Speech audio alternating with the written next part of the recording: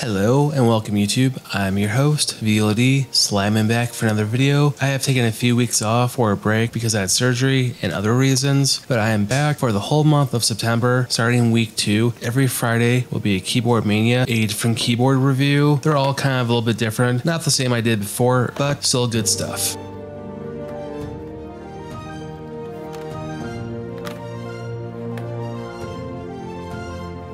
Right off the bat, you can pick up this keyboard case, this wireless keyboard off Amazon for about $53. Is it good? Is it bad? Who really knows? Watch this video. Let's get to it. Inside the box, you are given a USB Type-C to Type A cable, and it's fairly long. So far, so good, right? I mean, it's fairly good. I've had some delivered to me in the past that have been fairly small, so this is good. Granted, the graphic says micro USB. That might be a toss-up. Also, inside the box, you are given the instructions. If you have watched my channel in the past, you know how how to connect it, just your basic shortcuts, all of the typical stuff you are familiar with. And when you first grab the keyboard, you notice the cutout of it. So if you like to showcase your Apple logo for your iPad, you have that. The build quality of this is equally as good as a Fisher Price toy. Build quality is really subpar. I believe that's strike three right off the bat. When you open this keyboard, there is major flex. Towards the bottom of the keyboard, it bends most just because you put the most pressure on that point to open. I also have the Snug one for comparison just because they are both so similar. The snug one has a little bit of flex, but nothing quite like this. I could probably snap this in half if I'm not careful enough. So long term, this might not be a product because it could potentially break and the actual purpose of this will not be there anymore. If you are concerned about the keyboard or trackpad, this is the same thing as the Snug, just cheaper, much, much cheaper. The build quality is not really there. Quality control, same thing. They added two new features to it. They took away about five, so not great. This product does not win me over whatsoever. The trackpad is the same thing as the Snug. You do have a key. You are able to turn it off, which I would recommend doing that because even with Snug and Typecase, the keyboard is just average. The trackpad is bad. The one thing that the Snug does have over the predecessor is it is backlit. This one, they took that away. Quality control, as you can see in the top right corner, I'm not quite too sure what that is. If they put tape over it or if they just made it boo-boo or it's a band-aid. It's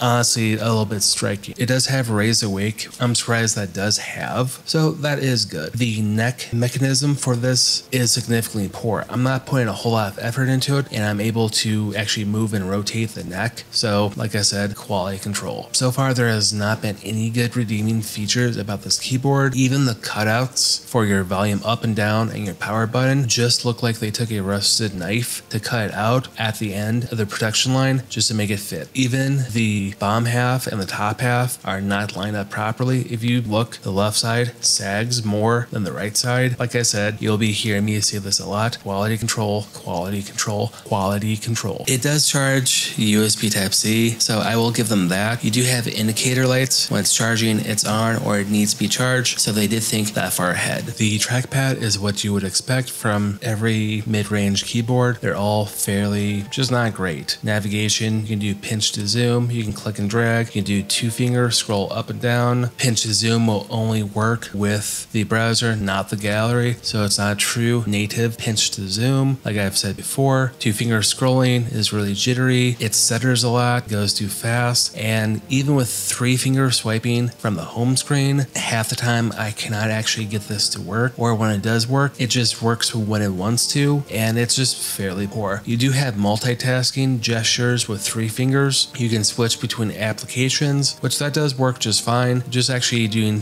going from homepage to homepage with three finger swipe does not really seem to work. Four fingers will give you screenshot. That does work. Typing on this is just average at best. You could take the basic formula, slap their name on it, and they could sell it, and it would sell. But they took this, made it cheaper, and it truly shows. I mean, just look at that flex on that keyboard. I'm only putting a little bit of pressure into it, and the whole keyboard is flexing majorly bad. I'm not quite too sure about this, like how it's built, but it's not great. And the simple fact that they are trying to sell this off Amazon for $53, like I said, $53, you can get the Snug or Typecase for the same price, more features, better quality control, it's built better. Granted, the trackpad isn't as good. Get the premium one, I can link that down below, much better. It's only a few dollars more, and trust me, that trackpad is worth it. There's a reason why I call this the premium keyboard, and it shows. This one does not. From the side of poor quality control, poor build quality, the flexing when you open it, honestly, I might actually snap this maybe a month down the road. The keyboard flexes majorly, majorly bad. The only good thing about this keyboard is the trackpad, and that was the worst feature on the Snug or the Typecase one I have reviewed in the past. Like I said before, spend a few dollars less, again, much better keyboard. Even the Microsoft Surface alternative, I could recommend that. If you like having a tear off keyboard with a kickstand, that is a fantastic product. Snug one is just average. Get the Greenlaw one, that's roughly the same price as this. It has the best experience to date for my own personal opinion, or spend a few dollars more and get the premium one, hands down the best one. So I cannot recommend this product to anyone. Just cons outweigh the pros. There are really no pros with this thing. They could have taken the formula of an average keyboard case and made it better. They made it cheaper and they made it worse. So it's just one thing I cannot recommend. So like always, I'm your host, VLD. Smash that bell, subscribe, and stay tuned for all that weird, obscure Apple tech piece.